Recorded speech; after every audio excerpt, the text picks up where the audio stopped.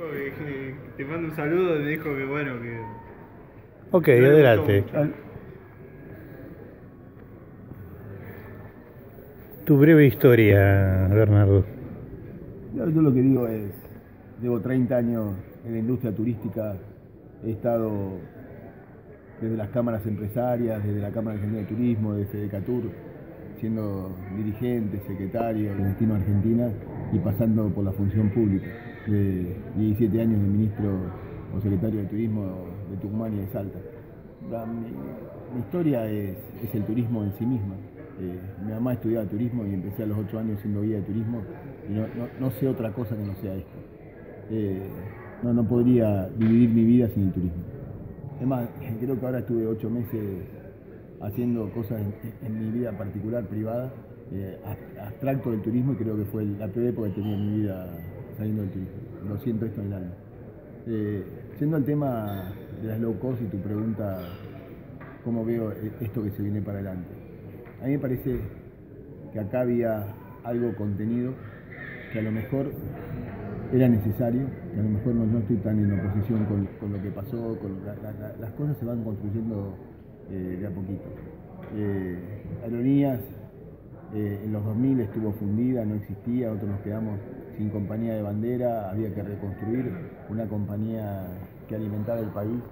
Eh, en el 2004, 2005, eh, yo me acuerdo cuando estaba secretario de Turismo de Salta, desesperación porque no teníamos conectividad aérea, porque uno veía que no había forma alguna de poder llegar adelante. Ahí surge esta idea de crear Andes, es la provincia de Salta, donde buscamos con el gobernador Romero en ese momento mil actores diferentes para, para, decirle, mire, yo, yo lo ayudo a que usted ponga una compañía aérea, yo pago un, monto garantizado porque estoy seguro que los pasajeros están, pero usted ponga el avión.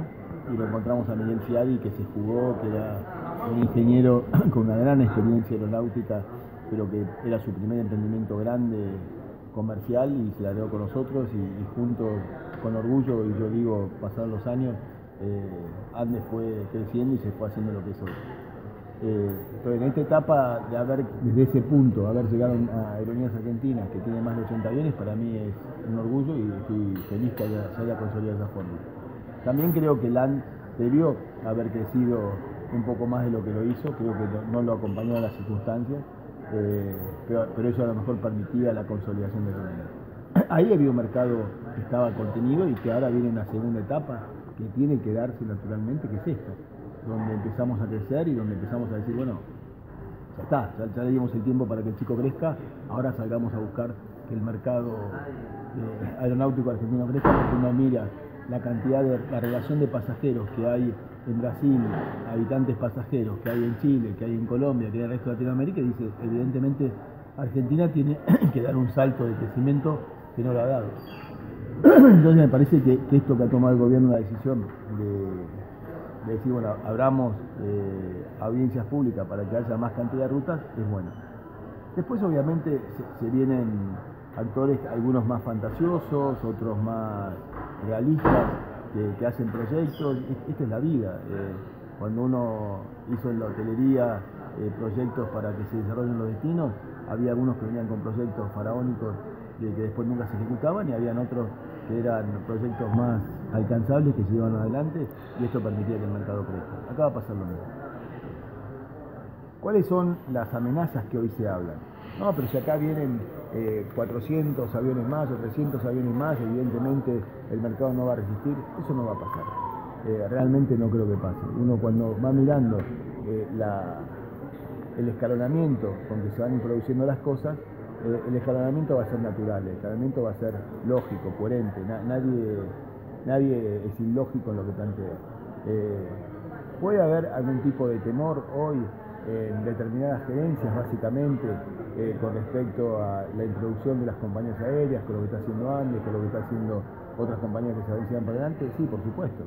Porque si yo dominaba el mercado, no competía con nadie y ahora tengo que competir, bueno, evidentemente me va a generar factura. Ahora, eh, la mirada yo creo que tiene el ministro Dietrich en particular es la de decir, hagamos que el mercado de transporte argentino mejore.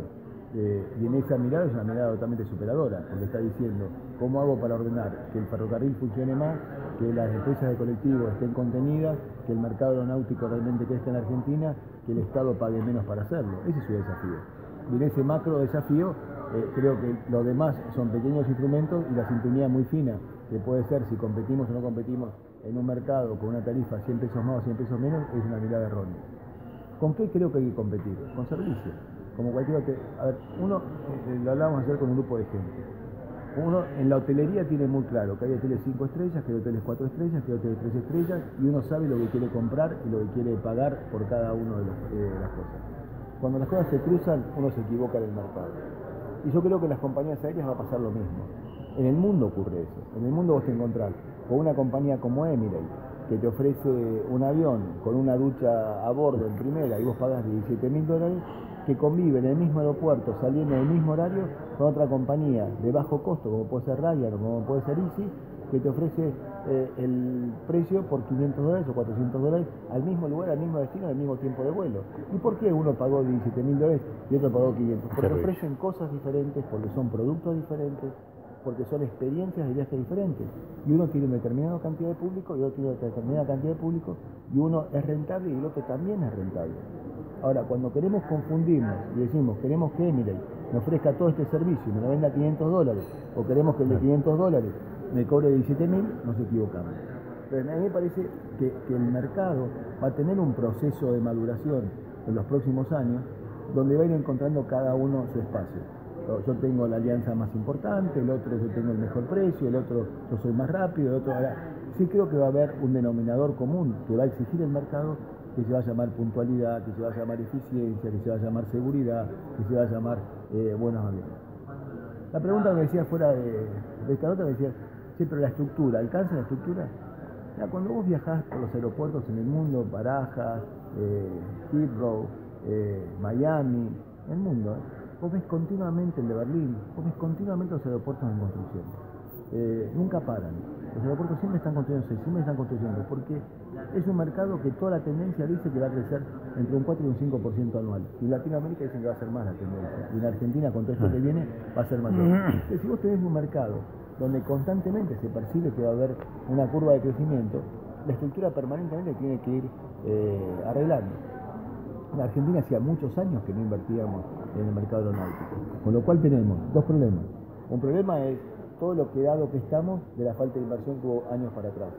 Y lo que se proyecta para adelante, la necesidad de crecimiento que la industria va a tener, si crecemos como crece el mundo, dentro de 10 años hay un 50% más de mercado Claro. que el que hoy, lo que dice el mercado.